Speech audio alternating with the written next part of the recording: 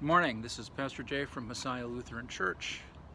I was reading this morning in Philippians, and there's this great hymn in Philippians chapter 2 that is one of my favorite passages in all of the Bible.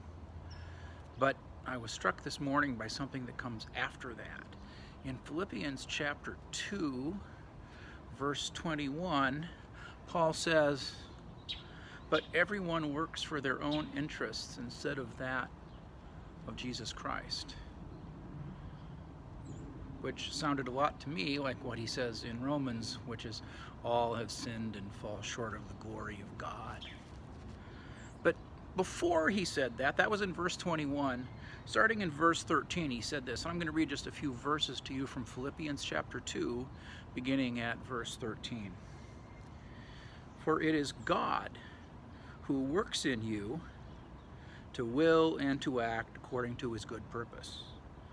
Do everything without complaining or arguing, so that you may become blameless and pure, children of God without fault, in a crooked and depraved generation, in which you shine like stars in the universe. So which is it? Does everybody just act for their own interest, not care about what Jesus would want us to do, not care about what Jesus calls us to do, or do believers in Christ shine like stars in the universe? I think the answer to both of those is sometimes yes.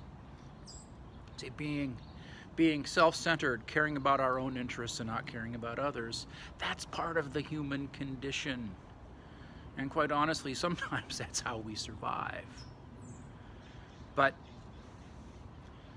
it's not a way to go through life because when we're focused on ourselves, we're not building relationships with others, we're not working on our relationship with Jesus, and we're not letting God work in us through the power of the Holy Spirit to make us more Christ-like.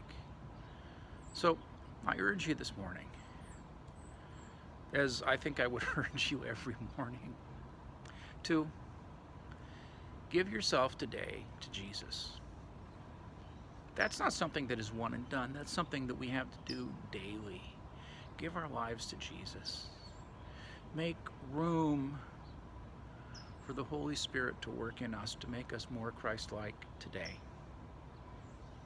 And then pray that just as Jesus loves you, just as Jesus loved you enough to go to the cross for you, you will be so filled with God's love that it will overflow and make you shine like a star so that people see the light of Christ in this world. God bless you. Have a blessed day. Amen.